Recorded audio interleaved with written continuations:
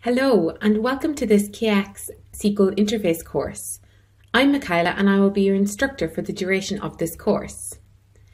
Now, we will be using KX Developer with SQL capability as our learning environment and you can access your own version by clicking the button that says Launch KX SQL Sandbox from the course page. Once clicked and you have accepted the license agreement, you'll be brought to the same screen as I am sharing here. Here you will see we have an instance of KX Developer with our Git repository already checked out and ready to go. Now to get started, let's first open up our readme.md file.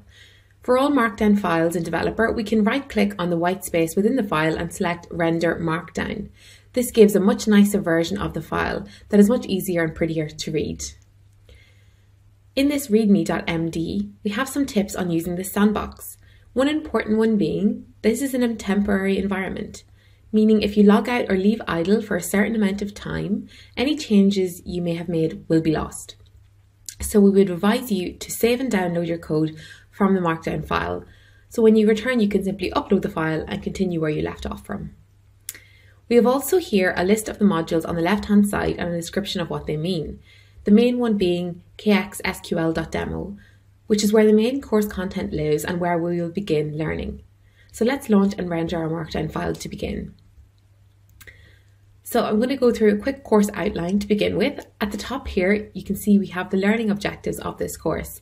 And we're going to start by understanding what is KX SQL and why is it useful. We'll then learn how to run basic SQL queries in KX. Then we will look at all the SQL language and DDL syntax that is supported in KX SQL. Then we will look at how to apply parameters with KX SQL, as well as how to make performance improvements.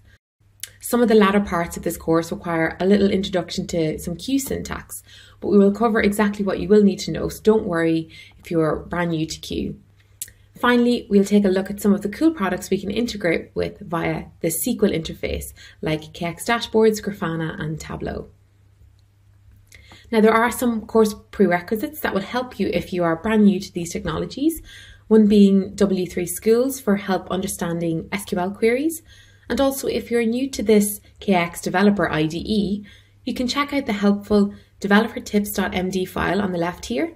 And you can also check out the Introduction to KX Developer course that we have in the Academy, and you'll be able to see some live demos of the functionality there. So why have we built this SQL interface in KX? So the SQL language is one of the most widely used database query languages. So by supporting this, we are opening up the power of KX to a whole realm of new users who are already quite familiar with SQL. And we're listening to feedback from our clients and customers, and this is one of the big asks from, from them. And now, just to be clear, this is not a replacement for the Q language. And indeed, to get the very best performance and to build out more complex architectures with our KX technology, Q and learning the Q language is going to be required to some extent. But what it does allow for is newcomers to get up and running, querying data in KX fast using a query language that they are already familiar with.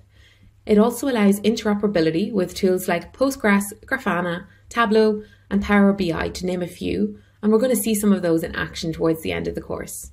So, some of the main KX SQL operators are listed in this table below, and full documentation can be found at the link provided, and that will bring you to the relevant page on our documentation site code.kx.com.